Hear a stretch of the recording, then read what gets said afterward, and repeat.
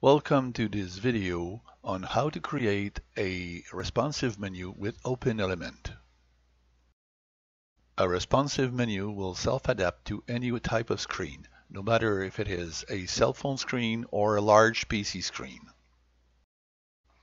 This page is too long to fit in a screen, so I split it in four sections and each of these sections is separated by an anchor that will allow us to navigate through a menu. Let's start by personalizing the base layer. To fit the page into the screen, I will use the responsive button under the page tab and select the 100% width screen. While I'm there, I'm going to select the standard font and standard font color for this site.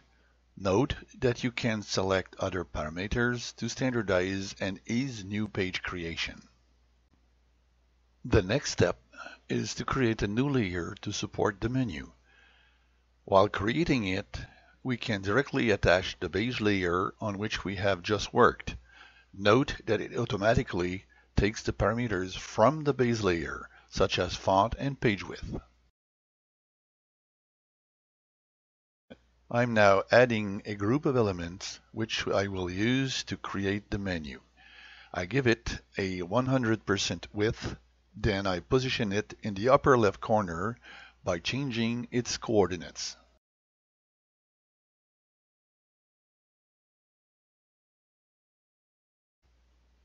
The overflow will be hidden and the positioning mode will be relative.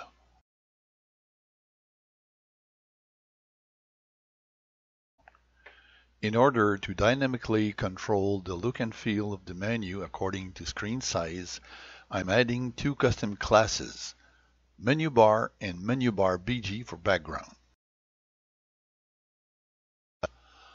The code used in this tutorial is available through the Create Your Responsive Menu tutorial on the OpenElement forum. By selecting a font size, font color, and font name and assigning it to this group of element, I'm standardizing the menu element.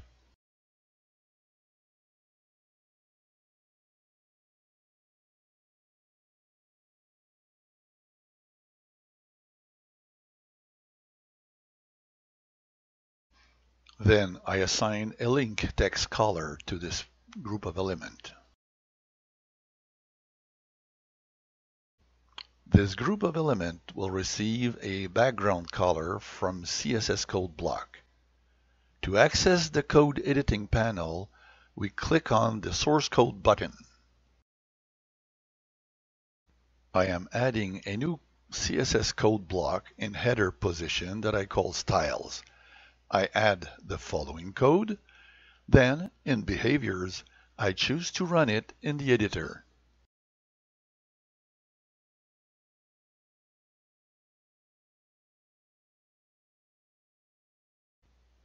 It's time to create our first menu button. We're going to use a text link without assigning any target.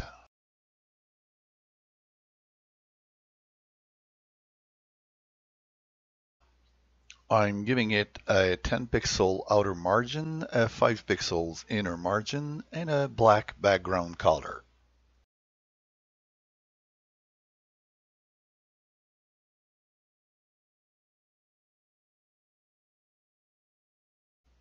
Then we need a custom class called menu button.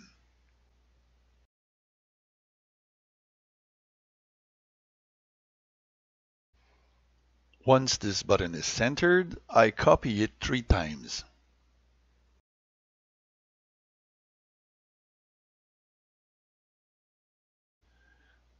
I can now change the button text and assign a target to each of these buttons.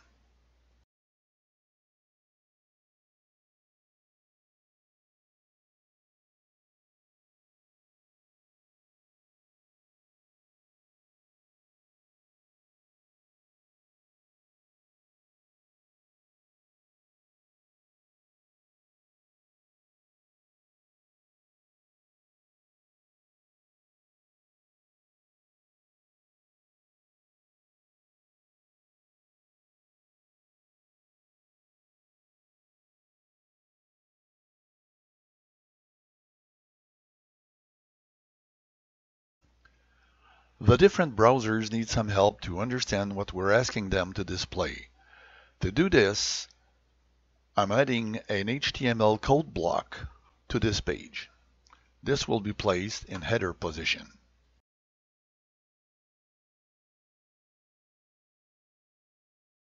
I will now use OpenElements Media Edition. It is a function that allows you to change some parameters when the screen changes appearance. To animate this menu on smaller devices, I'm going to use the preset limit to 767 pixels. Prior to that, I need to switch the group of elements height to automatic.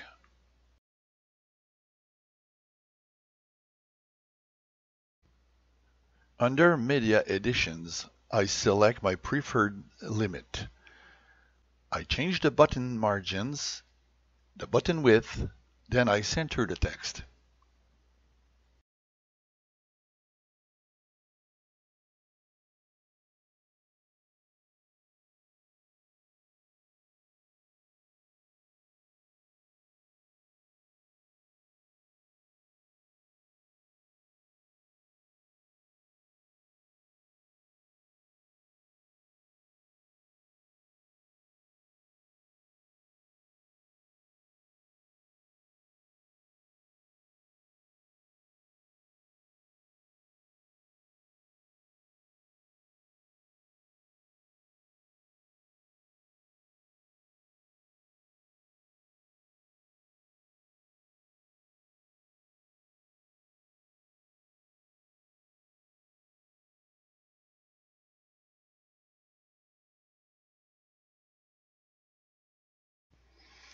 I go back to the default media to add a 60 by 60 pixel group of elements with a black background and a background image that represents the white hamburger.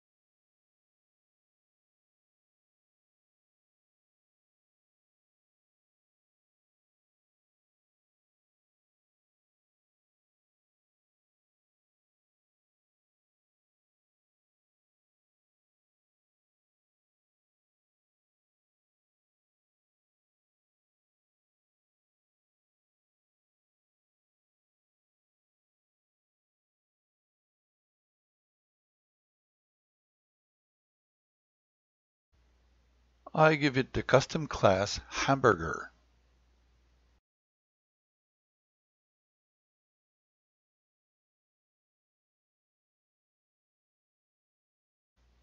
Then I'm going to hide it for larger screens.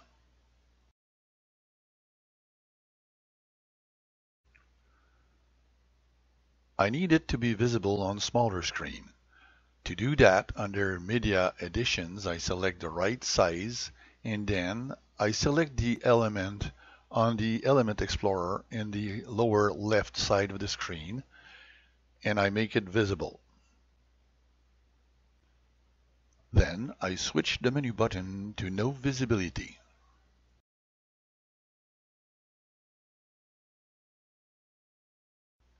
I also want this gray background to disappear for smaller devices. To do that, I'm going to modify the CSS code.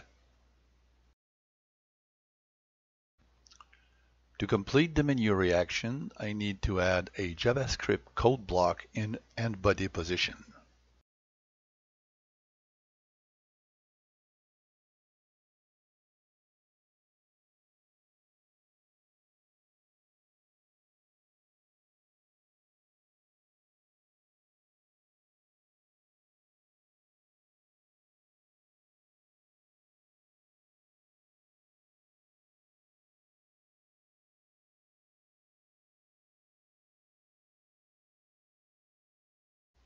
It's now time to attach our layer to our page and see what's going to happen.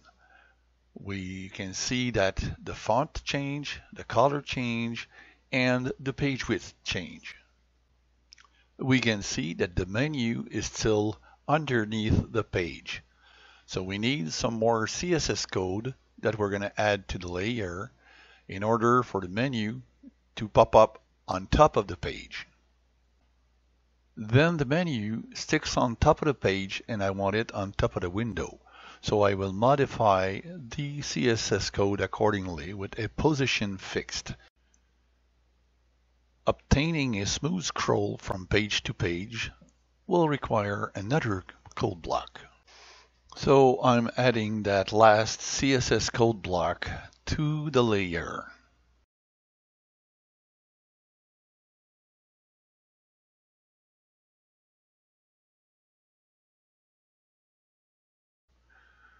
This is the final result in the end of the presentation.